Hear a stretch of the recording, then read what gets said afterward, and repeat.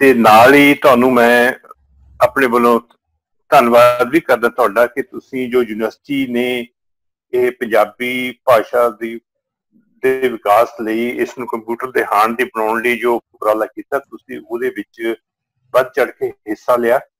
ਸੋ ਤੁਹਾਡਾ ਉਸ ਵੱਲੋਂ ਧੰਨਵਾਦ ਹੀ ਹੈ, ਕਿਉਂਕਿ ਪੰਜਾਬੀ ਯੂਨੀਵਰਸਿਟੀ ਦਾ ਐਸਟੈਬਲਿਸ਼ ਕਰਨ ਦਾ ਮਕਸਦ ਸ਼ੁਰੂ ਵਿੱਚ ਇਹੀ ਸੀ ਕਿ ਪੰਜਾਬੀ ਭਾਸ਼ਾ, ਪੰਜਾਬੀ ਸੱਭਿਆਚਾਰ ਤੇ ਪੰਜਾਬੀ ਸਾਹਿਤ ਦਾ ਵਿਕਾਸ ਹੋ ਸਕੇ, ਸੋ ਤੁਸੀਂ ਸਾਡੀ ਉਸ ਦੇ ਵਿੱਚ ਮਦਦ ਕਰ ਰਹੇ ਹੋ, ਇਸ ਵਰਕਸ਼ਾਪ ਦੇ ਵਿੱਚ ਸ਼ਾਮਲ ਹੋ ਕੇ।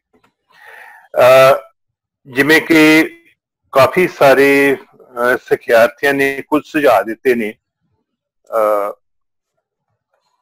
ਸਭ ਤੋਂ ਪਹਿਲਾਂ ਮੈਂ ਇਹ ਮੈਨੂੰ ਕਹਿਣ 'ਚ ਕੋਈ ਦਿੱਕਤ ਨਹੀਂ ਹੈ ਕਿ ਅਸੀਂ ਤਕਰੀਬਨ 50 ਵਰਕਸ਼ਾਪ ਇੱਥੇ ਲਾਈਆਂ ਜਿਹੜੀਆਂ ਆਫਲਾਈਨ ਲਾਈਆਂ ਕੈਂਪਸ ਦੇ ਵਿੱਚ ਤੇ ਦੂਜੀ ਸਾਡੀ ਆਨਲਾਈਨ ਵਰਕਸ਼ਾਪ ਹੈ।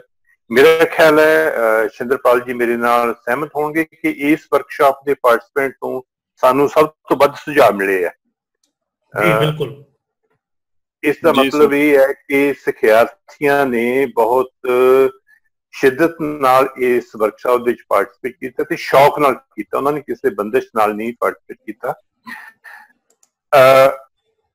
ਇਹਨਾਂ ਸੁਝਾਵਾਂ ਤੇ ਅਸੀਂ ਗੌਰ ਕਰਦੇ ਹੋਏ ਅੱਗੇ ਨੂੰ ਜਿੰਨੀਆਂ ਹੋਰ ਇੰਪਰੂਵਮੈਂਟ ਕੀਤੀਆਂ ਜਾ ਸਕਣਗੀਆਂ ਉਹ ਕਰਾਂਗੇ। ਜਿਵੇਂ ਕਿ ਤੁਹਾਨੂੰ ਪਹਿਲਾਂ ਦੱਸ ਦਿੱਤਾ ਗਿਆ ਹੈ ਕਿ ਜੋ ਇਹ ਸੈਂਟਰ ਸਥਾਪਿਤ ਕੀਤਾ ਗਿਆ ਪੰਜਾਬੀ ਯੂਨੀਵਰਸਿਟੀ ਪਟਿਆਲਾ ਦੇ ਵਿੱਚ, ਇਹ ਪੰਜਾਬੀ ਭਾਸ਼ਾ ਨੂੰ ਜਿਹੜੇ ਇਹਦੇ ਵਰਤੋਂਕਾਰ ਨੇ, ਕੰਪਿਊਟਰ ਤੇ ਤੇ ਇੰਟਰਨੈਟ ਤੇ ਤੇ ਮੋਬਾਈਲ ਤੇ ਵੀ ਉਹਨਾਂ ਨੂੰ ਉਤਸ਼ਾਹਿਤ ਕਰਨ ਲਈ ਤੇ ਉਹਨਾਂ ਦੀ ਮਦਦ ਕਰਨ ਲਈ ਇਹ ਸੈਂਟਰ ਸਥਾਪਿਤ ਕੀਤਾ ਗਿਆ ਸੀ। ਤੇ ਉਸੇ ਲੜੀ ਦੇ ਵਿੱਚ ਅੱਜ ਇਹ ਤੁਸੀਂ ਜੋ ਵਰਕਸ਼ਾਪ ਦੇ ਇਸ ਬਿਲਡਿੰਗ ਫੰਕਸ਼ਨ ਦੇ ਵਿੱਚ ਸ਼ਾਮਲ ਹੋ ਰਹੇ ਹੋ। ਜਦੋਂ ਅਸੀਂ ਸ਼ੁਰੂ ਦੇ ਵਿੱਚ ਅਜਿਹੀਆਂ ਵਰਕਸ਼ਾਪਾਂ ਦਾ ਆਯੋਜਿਤ ਕਰਨ ਦੀ ਸੋਚੀ ਸੀ ਤਾਂ ਸਾਨੂੰ ਕੋਈ ਬਹੁਤਾ ਵਧੀਆ ਰਿਸਪੌਂਸ ਨਹੀਂ ਸੀ ਮਿਲਿਆ ਸਾਡੇ ਵਿਦਿਆਰਥੀਆਂ ਵੱਲੋਂ।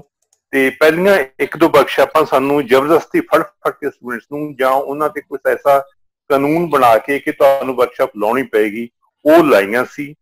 ਪਰ ਜਦੋਂ ਸ਼ਿੰਦਰਪਾਲ ਹੋਰਾਂ ਨੇ ਉਹ ਦੋ ਵਰਕਸ਼ਾਪ ਲਾਈਆਂ, ਉਸ ਤੋਂ ਬਾਅਦ ਲੋਕਾਂ ਤੱਕ ਸੁਨੇਹਾ ਪਹੁੰਚਿਆ ਕਿ ਇਹ ਬਹੁਤ ਵਧੀਆ ਵਰਕਸ਼ਾਪ ਹੈ ਤੇ ਫਿਰ ਚੌਰ ਨਾਲ ਲੋਕ ਸਾਡੇ ਕੋਲੇ ਆਉਣਾ ਸ਼ੁਰੂ ਹੋਏ ਤੇ ਅਸੀਂ 50 ਦੇ ਕਰੀਬ ਆਫਲਾਈਨ ਵਰਕਸ਼ਾਪ ਇਹ ਆਪਣੇ ਸੈਂਟਰ ਦੇ ਵਿੱਚ ਲਾ ਚੁੱਕੇ ਹਾਂ ਤੇ ਅੱਗੇ ਨੂੰ ਵੀ ਵਰਕਸ਼ਾਪ ਲੱਗਦੀਆਂ ਰਹਿਣਗੀਆਂ। ਕੁਝ